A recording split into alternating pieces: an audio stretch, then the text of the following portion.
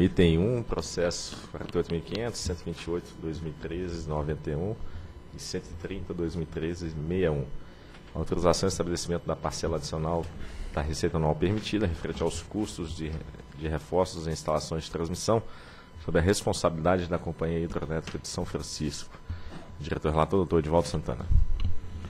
É um processo que poderia estar na, no bloco, mas como chegou para mim depois do prazo de incluí-lo no bloco, trago aqui. Mas é bem simples.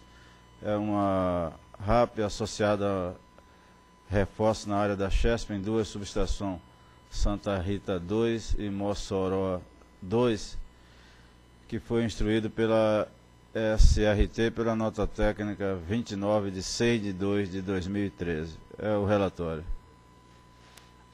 Procuradoria. De fato, trata-se de um processo simples e não uma questão jurídica.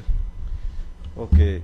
Nos dois casos, o somatório dos investimentos chegam a mais de 17 milhões, com a RAP anual de mais de 2 milhões e 200 mil reais. Como disse, a área técnica recomendou a aprovação da RAP, dos reforços com a respectiva RAP, com o qual eu concordo.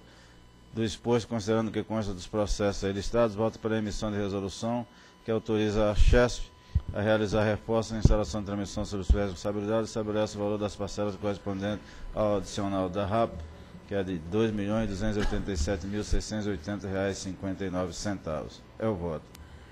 Ok, em discussão. Em votação. Voto com relator. Também voto com o relator. Voto com relator.